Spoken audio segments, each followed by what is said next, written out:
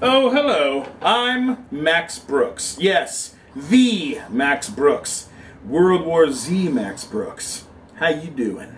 Let me tell you a little something, folks. I'm working on a new comics horror anthology entitled Cinema Purgatorio, along with some of the greatest writers known to man. That's right. a little guy named Garth Ennis, you guys know this guy, created Preacher, or how about Kieron Gillen, who is literally crushing it right now.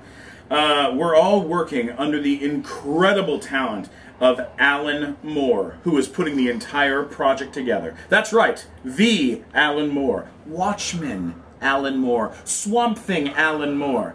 And me, Max Brooks, well, you know, I'm just rocking it as per usual. You know, just doing it World War Z style. Stephen, what are you do? What are you doing in my office? What are you do? The fuck are you? What are you doing here? I, you know, I knew that you had to do the Kickstarter video, and I thought I, I would just do the. I, I could do. I, I'm Max Brooks. Stephen, you can't be me, okay? I'm me. I have to do this. Oh, really? Really? Do you have a light up jacket? Oh, Jesus Christ, Stephen. Because I have a light up jacket. Stephen, I I have to promote what I write. That's how it works. Okay, listen, why don't. You're a terrific creative, okay? But I'm. I have that je ne sais quoi, you know? That. That spark. So why don't you go back to sleep and dream up the next issue of the comic? Go get some beauty rest.